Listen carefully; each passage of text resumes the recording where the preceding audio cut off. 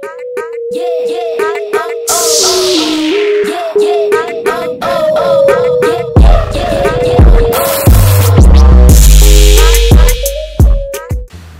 when you're dealing with corners like this and you sewed something and you need to turn it the right way out like this, one of the things you want to be able to do is to get these corners to come out pointed and crisp and sharp. But usually that won't work out well because the seam allowance and the fabric inside there gets bunched up in the corners and doesn't lay smooth. So what you want to do when you're dealing with corners, before you turn them out, you take your scissors and then we are going to clip. Now you're going to clip as close to the stitching line as you can get, but maintaining a diagonal like this, just across the corner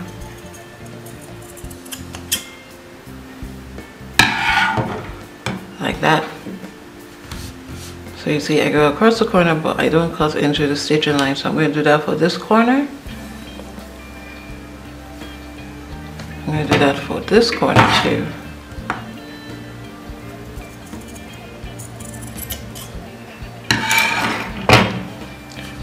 So that's my two corners clipped down. Now if you're dealing with very thick fabric, this fabric is not is very light, but if you're dealing with thick fabric, in addition to clipping the corners, you can also trim your seam down to make it less bulky. So you just trim it maybe halfway down. I don't like taking too much because I don't want the stitching lines will come out by accident. You still need some seam allowance. So just trim.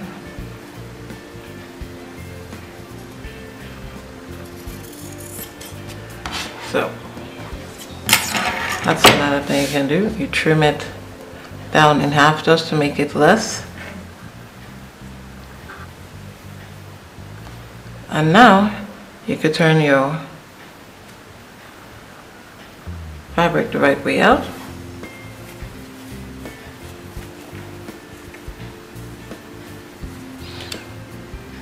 Now I'm going to try and poke the corners up. You use something pointed but not too sharp. It could be anything, it could even be a pencil, but something that's pointed but it's not very sharp. You don't want something that's going to tear you through your fabric. So don't use your scissors to do this.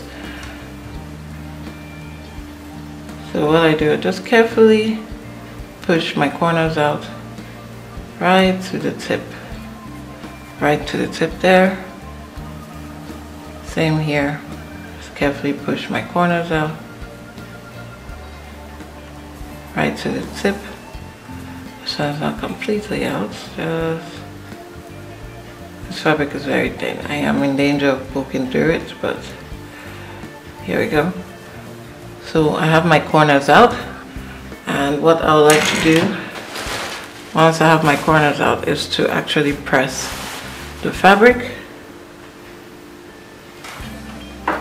In sewing pressing is very important. You want to press all the time once you finish sewing. It makes your stitching lines crisp, it makes your seams crisp, and most importantly, it melds your stitches into the fabric, almost making them become one.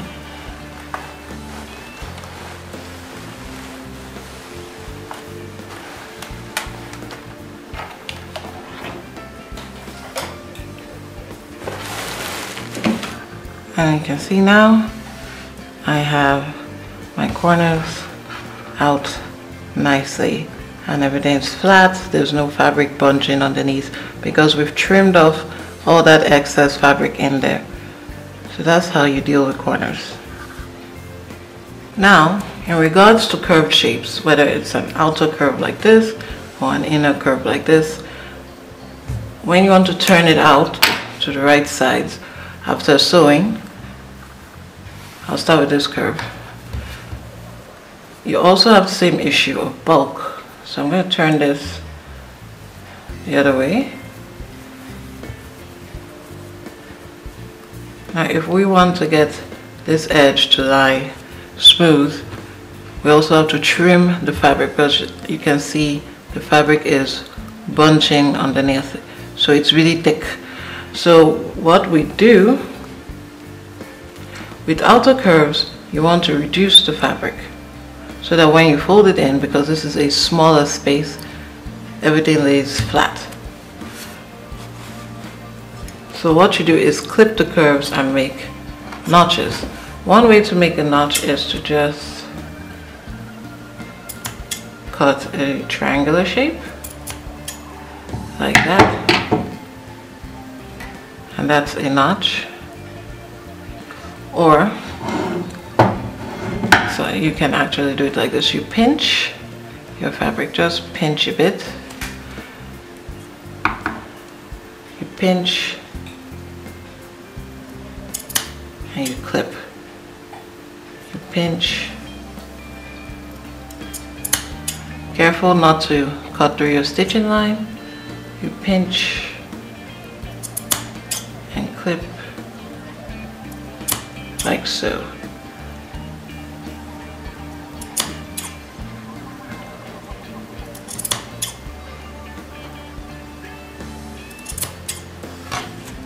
so those are notches that's how you make notches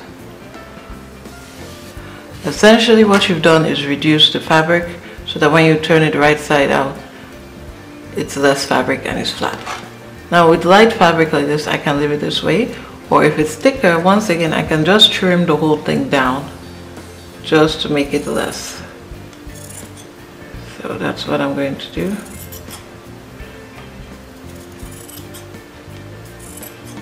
let's trim it all down in half. You don't have to trim it if your fabric is very light. But that's one way of doing that.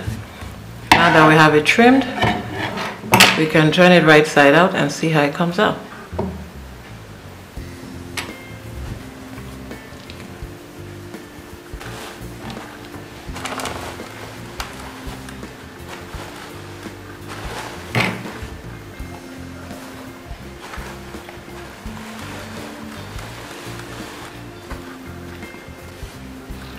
So it's pressed once again note how flat it is. It's flat, it's flat on all sides and the fabric has spread on the inside because we've trimmed it down and we've cut out some of it to reduce the bulk.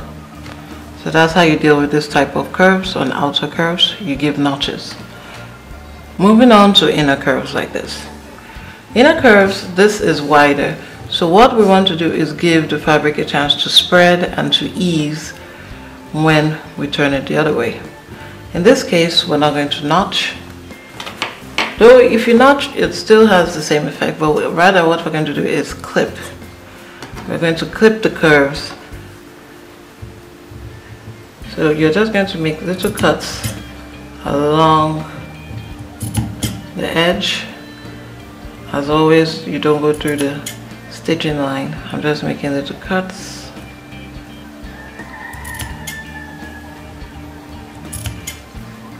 like that. Careful not to go through the line. Always be careful not to go through your stitching line. That's the most important thing.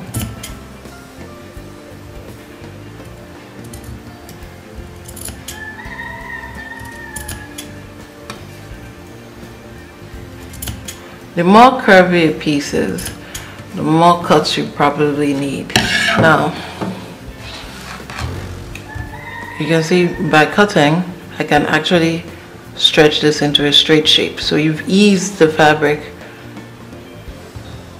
and made it more malleable without compromising your shape. Once again you can trim the seam. If it's too thick we're just going to try and turn this the right way and see what we end up with.